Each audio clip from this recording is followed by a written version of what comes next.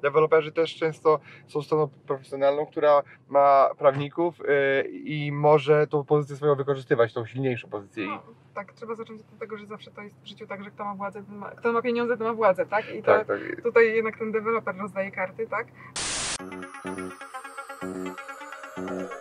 Biznes Rider.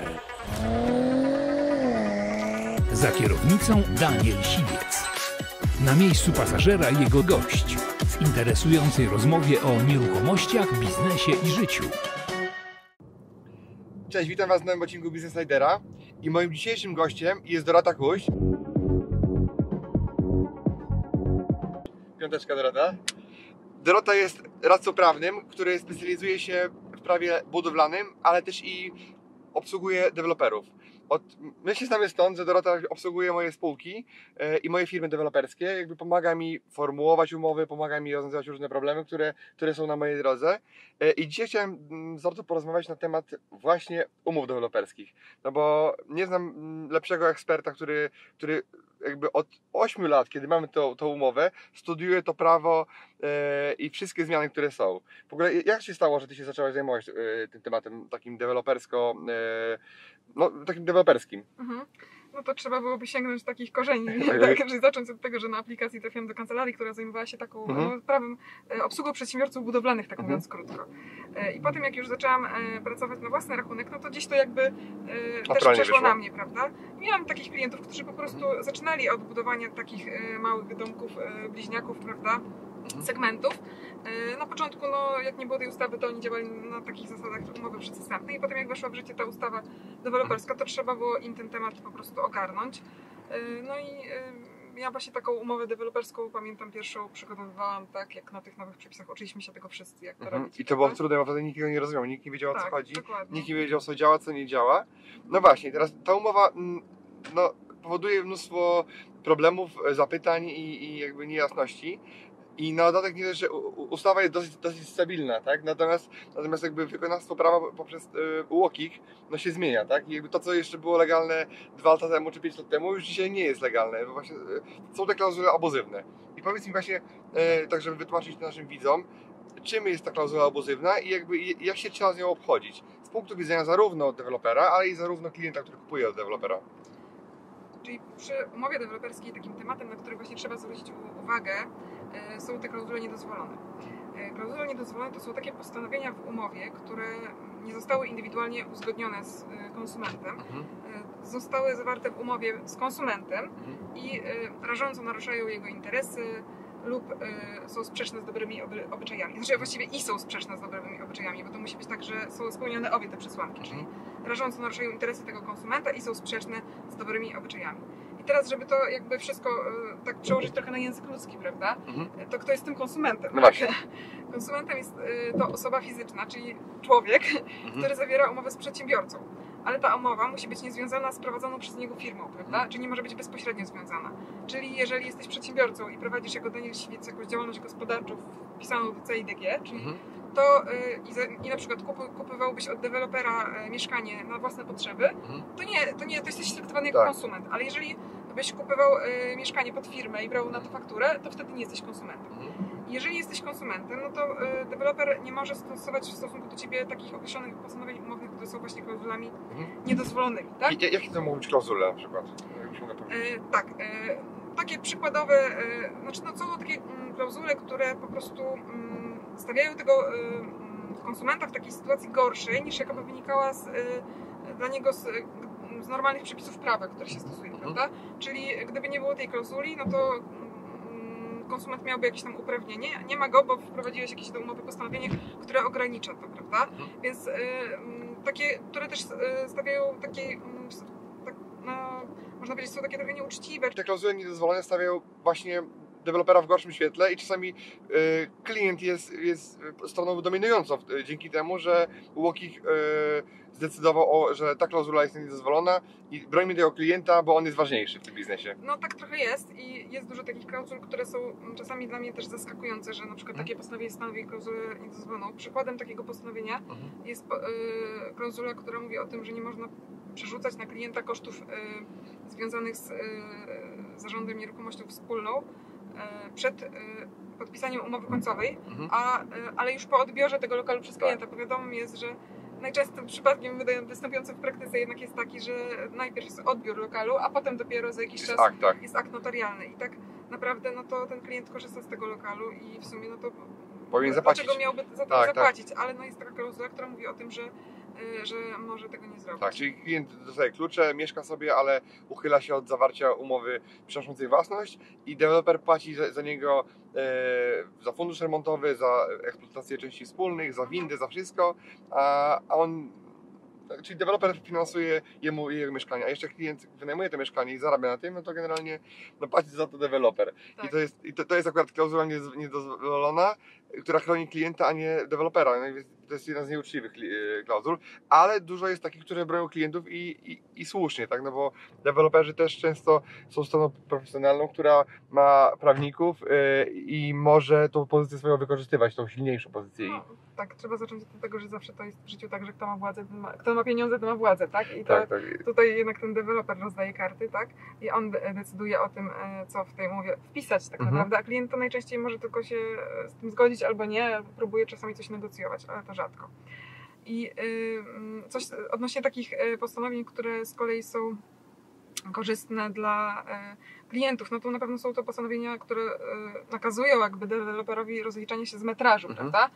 Czyli na zasadzie takiej, że jeżeli jest cena za metr kwadratowy taka, a deweloper wy, mm, wykonuje podwykonawczy obmiar po lokalu i okazuje Mhm. się, że lokal jest mniejszy o metr, no to jeżeli mieszkanie kosztowało 9 tysięcy z metra, no to Mhm. są już jakieś pieniądze dla przeciętnego człowieka, Tak. prawda, który takie mieszkanie kupuje, a jeszcze musi je wykończyć, no to 9 Tak. tysięcy to spada z nieba praktycznie, Tak. tak? Y, Także w drugą stronę też to działa, ponieważ y, deweloper ma prawo do żądania y, Dopłaty. dopłaty. I jeszcze z takich właśnie kuriozalnych rzeczy, to przez długi czas y, było uznawane za klauzulę, że w ogóle był taki wymóg, że deweloper musiał wybudować Tyle samo metrów, Tyle ile- samo metrów, ile było w To było projekcie. To w ogóle było kuriozalne. No, jakoś tak y, mm, z- zajął się tym, y, tą sprawą y, jakaś konfederacja Pol- zrzeszająca deweloperów. Jak Polski Związek Firm Deweloperskich, tak, tak? I oni walczyli o to, że no nie da się wybudować e, co do milimetra takiego samego mieszkania. To jest technologiczna e, kwestia, że no, zawsze będzie trochę więcej tynku, trochę milimetr w tą, milimetr w tamtą, to już później na, na całym budynku robi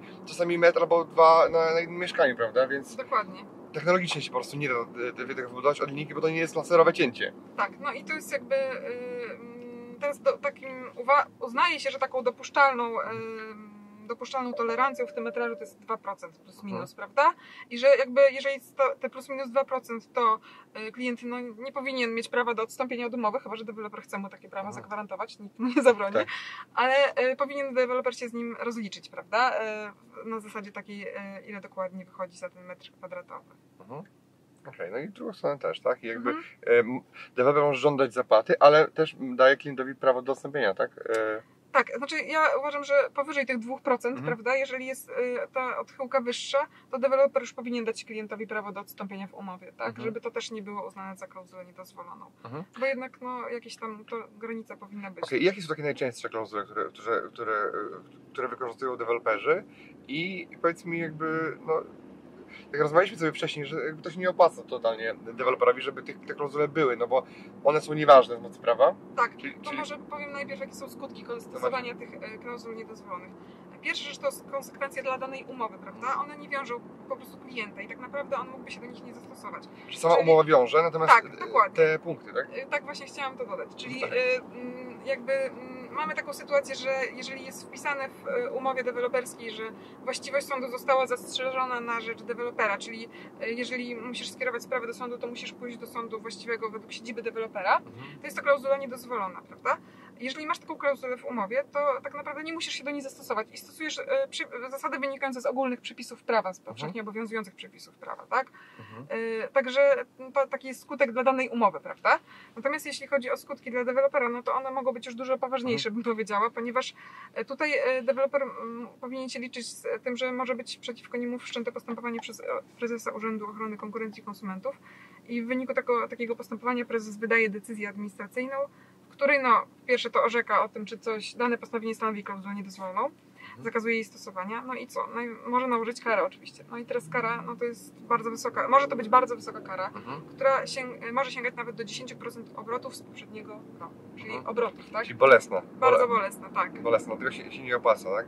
Dlatego też y, deweloperzy tak naprawdę powinni dbać o to, żeby y, ich umowy w sumie były chyba jak najprostsze. Ja zawsze tak jestem tego zdania, tak? Y, Czasami lepiej wpisać mniej, a, y, niż żeby to więcej stanowiło tą klauzulę niedozwoloną, Tak, tak, która tak. może potem słono kosztować, Bo tak? później jak klient bierze tą umowę i, i szantażuje dewelopera, że jeżeli się z nim nie ułoży, tak jak on chce, Tak. to, to, to wie co zrobić, żeby, żeby miał problemy, tak? No tak naprawdę tak, dokładnie. Zawsze można y, złożyć donos i, i z tego y, mieć potem kontrolę i ocenę tej umowy, tak? A tak naprawdę to większość umów deweloperskich, które widziałam na oczy, ma jakieś Mhm, e, klauzule tak. niedozwolone.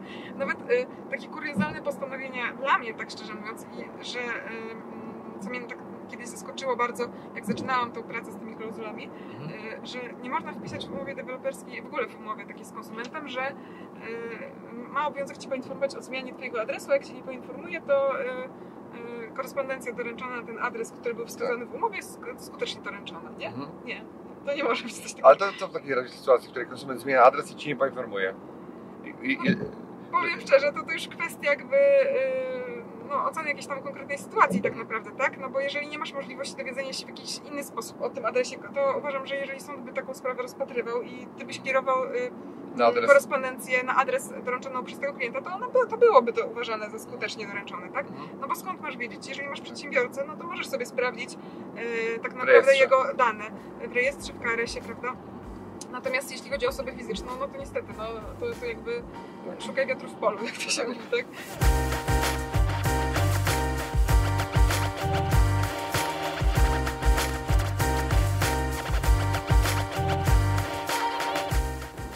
Okej, okay, Dorota, powiedz mi jeszcze, jakie inne e, klauzule ty widzisz, jakby takie najczęstsze, Mhm. które, które z jednej strony jakby deweloperzy e, wpisują, em, ale jakby robią to trochę wbrew, wbrew prawu, a, a które konsumenci, znaczy osoby, które dzisiaj kupują, tak jak moi fliperzy, mieszkania, e, powinni zwracać uwagę, tak?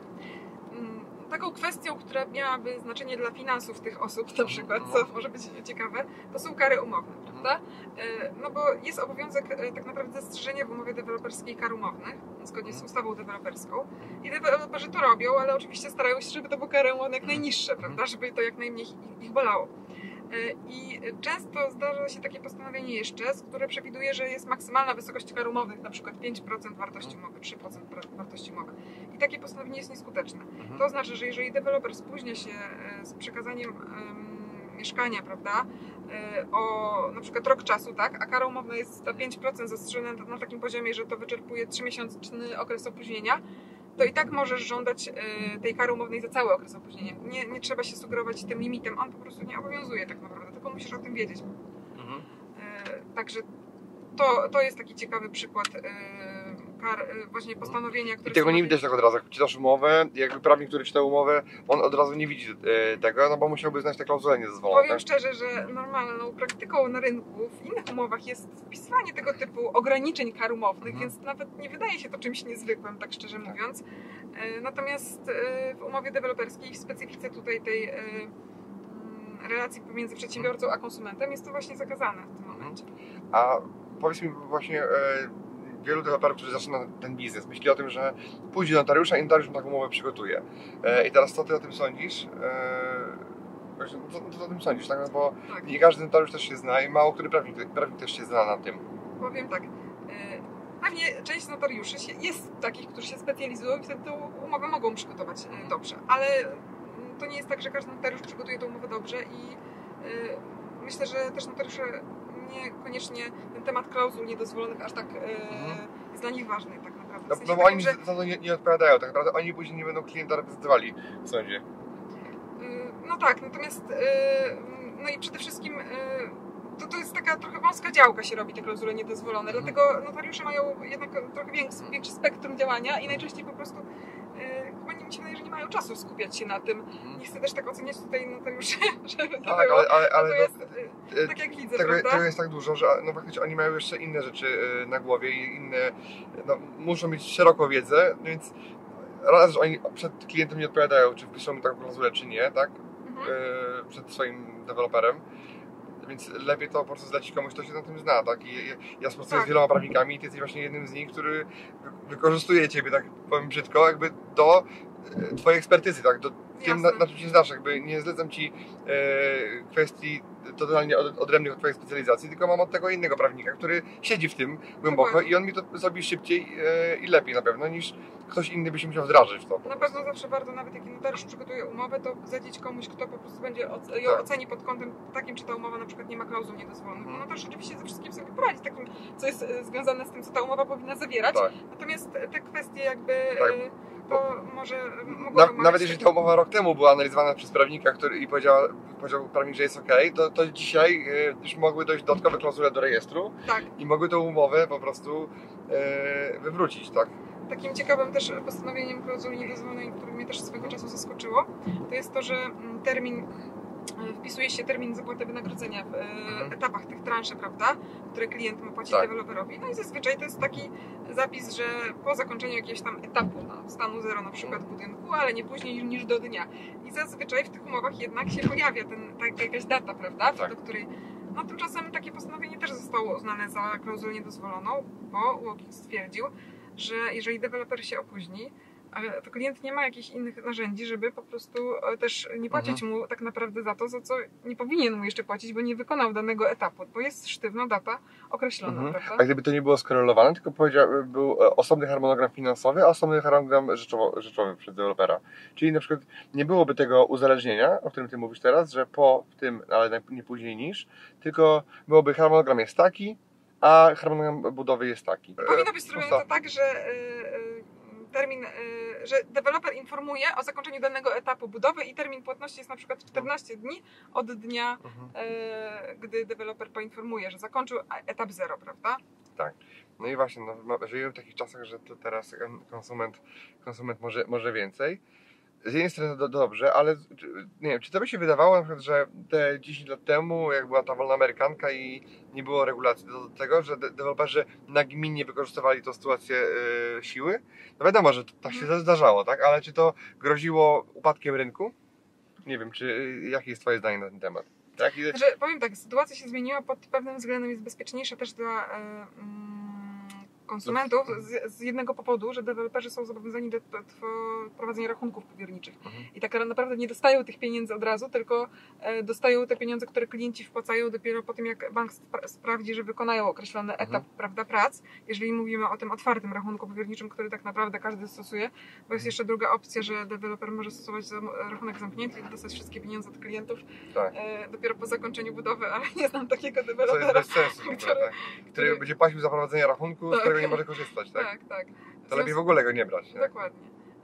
W związku z tym to na pewno e, w jakiś sposób było potrzebne, dlatego że e, to myślę, że też w jakiś, e, no, tak jest bezpieczniejsze dla klientów, tak? E, Natomiast też nie można mówić, że wcześniej było tak zupełnie źle, bo no, ja uważam, że też deweloper, tak jak każdy przedsiębiorca, musi troszeczkę dbać o swoją opinię tak naprawdę i jeżeli na dłuższą skalę stosuje takie działania, które są no, przeciw tym klientom, tak? Tak. To, to, to się nie opłaca po prostu, tak? tak, długoterminowo, tak.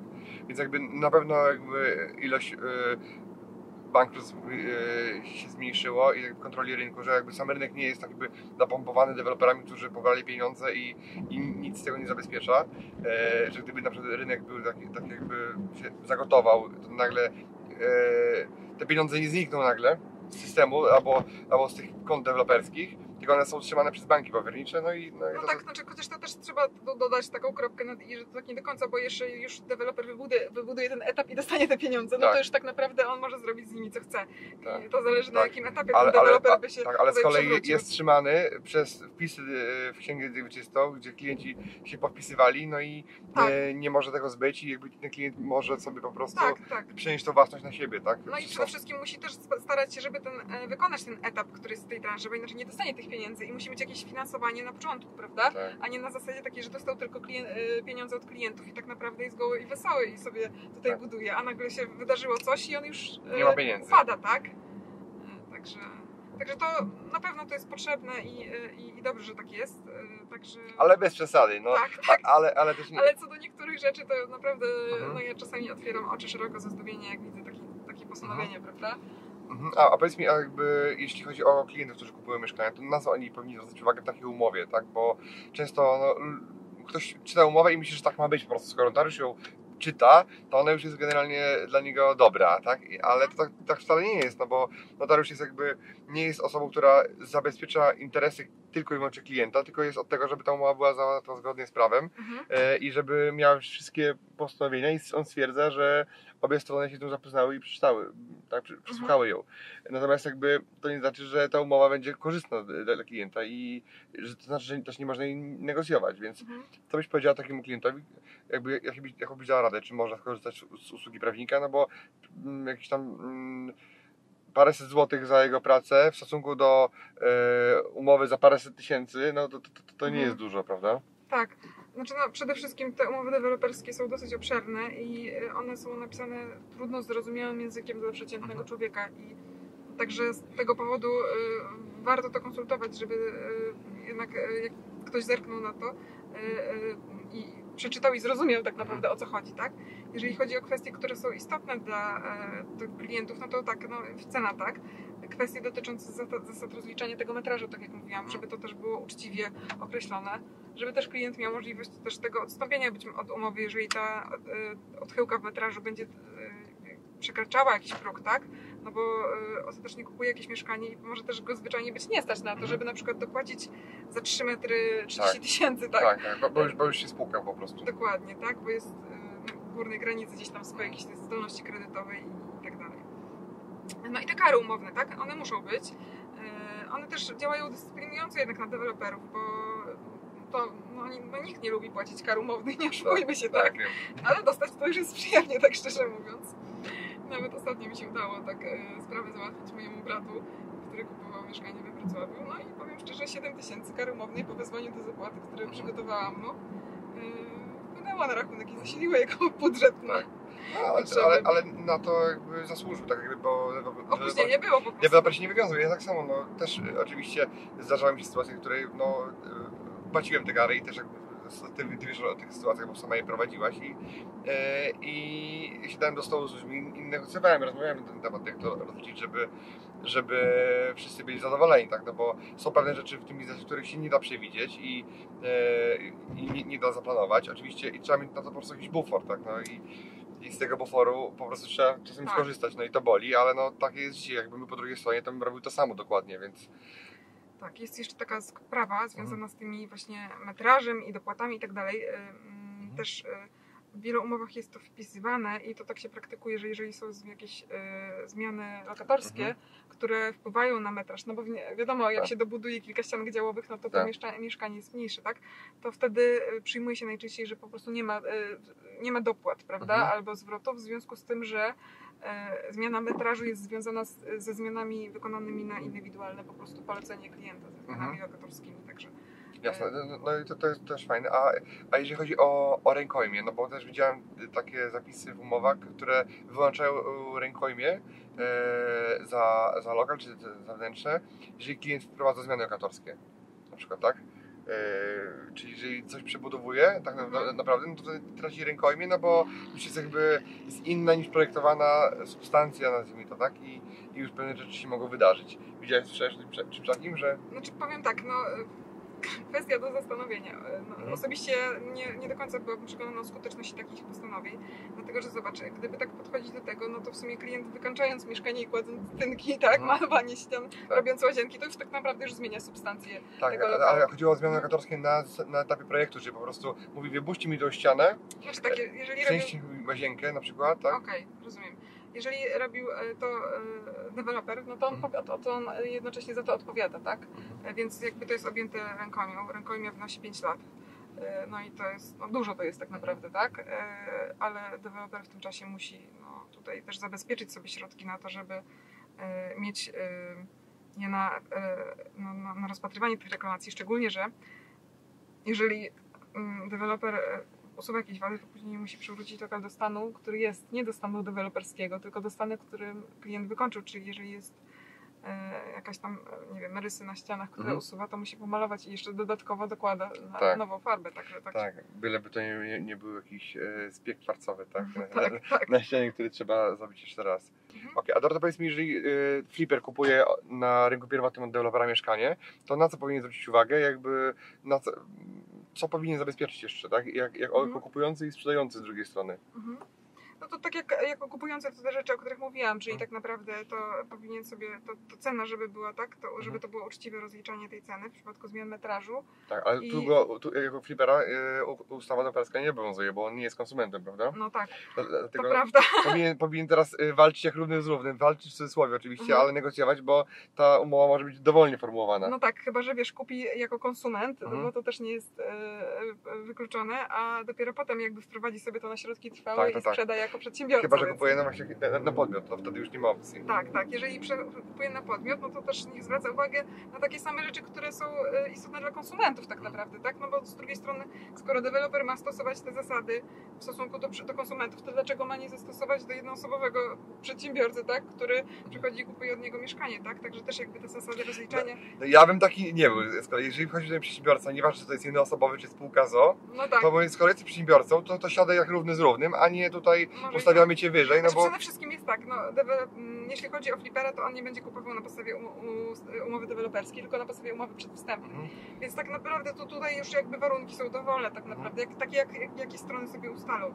Na pewno przy sprzedaży tej, tego lokalu Mhm. y, to powinien zadbać o to, żeby scedować na y, roszczenia z rękojmi y, i które przysługują mu wo- wobec Mhm. dewelopera na tego następnego, na tego klienta jego, prawda? Mhm. Na tego nabywcę mieszkania, żeby potem, jeżeli będą jakieś wady w tym lokalu e, związane, za które odpowiada deweloper tak naprawdę, żeby ten klient do niego nie przyszedł po pierwsze, tak? tak, tak. A po drugie, żeby, żeby poszedł, żeby miał też e, e, otwartą drogę, żeby wystąpić z tymi roszczeniami przeciwko deweloperowi. Mhm.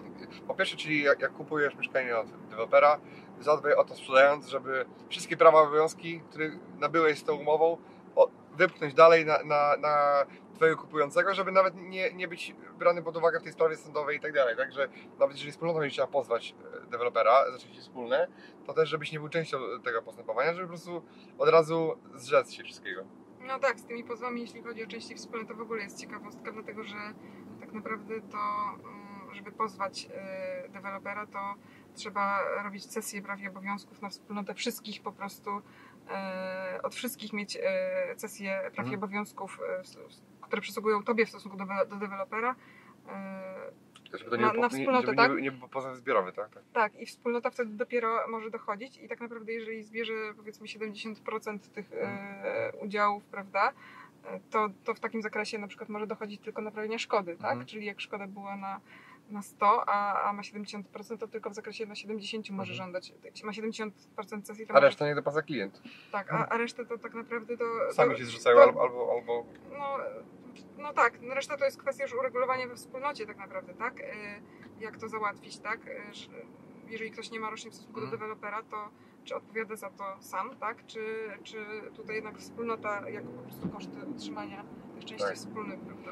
A, a z kolei jeszcze wcześniej to ja się staram jako deweloper brać e, rękojmię, którą mam i cedować na klienta z kolei, któremu sprzedaję, czyli rękojmia rękojmią, ale wolę mu dać tu sesję mojej e, rękojmi z gwarancji, moją rękojmię z umowy z wykonawcą, żeby klient szedł bezpośrednio do wykonawcy danej, danej branży, a nie do mnie na przykład. Tak, jeżeli nie wiem, coś się dzieje z kostką, to lepiej, żeby wolę, ja wolę, żeby operacyjnie dzwonił do niego i się z nim dogadywał i wykonywał tą sesję e, jakby tej rękojmi niż do, przeze mnie. To jest akurat y, ten temat, który poruszyłeś, to, Mhm. mm, to tak do końca nie można jakby tego zrobić, żeby nie można wobec konsumenta wyłączyć y, odpowiedzialności, więc nie możesz... y, Ja- nie włączam, Ale ale, ale, tak ale operacyjnie, tak? operacyjnie wolę, żeby oni się dogadywali sami, Jasne. e, bo to kosztuje mnie obsługę tego, tego całego No tak, procesu. tak, więc to jak najbardziej. wolę, żeby, żeby oni się dogadali. Jeżeli się nie gadają, to wtedy e, po prostu Ale to jest też jedna ciekawa rzecz, która właśnie przyszła mi też do głowy w związku z tym tematem, że deweloper oczywiście musi zadbać o to, żeby, e, żeby odpowiednio wydłużyć tą rękojmię w stosunku do tego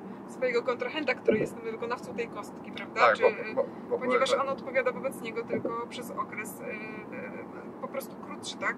Od- Odpowiada może nie, może nawet nie to, że krótszy, bo w zależności od tego, co robi, tak? To, mm, czy mamy do czynienia z wadami nieruchomości, czy po prostu wadami rzeczy ruchomych, to, to jakby są kwestie do, zawsze oceny, natomiast po prostu jest troszeczkę inny okres, y, inny zakres odpowiedzialności w stosunku do konsumenta, a inny zakres odpowiedzialności w stosunku do przedsiębiorcy, więc ja zawsze jak piszę takie umowy dla deweloperów y, dla swoich klientów, to po prostu wprost piszę, że rozszerzam zakres odpowiedzialności tego wykonawcy, tak jakby deweloper był osobą fizyczną, tak jakby był konsumentem po prostu, tak? Dokładnie, a, tu jest jeszcze kwestia terminów, no bo e, wykonawca chce dać 5 lat, ale od momentu e, zakończenia ro, swojej roboty, Tak. a, a często ten okres biegu em, dla konsumenta od dewelopera biegnie dopiero od tam, czy tam przekazania lokalu, czy od przeniesienia własności, prawda? Więc Dokładnie, i to tak naprawdę od każdego klienta os osobno. tak, więc to, e, te terminy są wszędzie gdzie inne po prostu, także to jest też ciekawe, że po prostu trzeba też zapewnić ten jakby bufor, bo skończy się gwarancja mi jako deweloperowi e, w biegu 4 lat klienta tak naprawdę, tak? Czyli Tak. tu minie 4 lata, a tam minie 5, więc Najczęściej jest tak, że y, czy jak, wpisuję tego typu postanowienia, no to wskazuje, że ten okres rękojmi zaczyna się od y, dnia, gdy ten wykonawca skończył robotę, no bo Mhm. wtedy już właściwie też no, odpowiada z tej rękojmi, tak ma robotę zakończoną, ale upływa po okresie 5 lat od dnia jakiegoś Mhm. tam, na przykład, no nie wiem, uzyskania ostatecznej decyzji o pozwoleniu na użytkowanie. No bo trzeba jakiś taki termin wybrać, który jest jakiś taki do ustalenia, tak? ale, ale też jest za, nie, e, zależny od, e, od dewelopera, bo żeby nie było, że deweloper nie sprzedaje mieszkania przez 3 lata, tak, sprzedaje po, trze, po 3 latach i dopiero 5 lat mija od trzeciej e, No roku, nie, no tak. to, to byłoby już trochę przegięcie. chyba. To byłoby trochę, trochę przegięcie, tak? Że można zrobić jakby te 5 lat od, że zamyka się ten termin e, deweloperski, ale nie później niż na przykład, nie wiem, 6 lat na przykład, tak? Mhm, tak, żeby tak, ograniczyć, tak. żeby nie było to e, neverending story, tak? Deweloper No sobie tak. zostawił 10 lokali, nagle je sprzedał po 5 latach i, i nagle biegnie te 5 lat dla Mhm. wykonawcy. No wykonawca też nie jest głupi i też się na to nie zgodzi.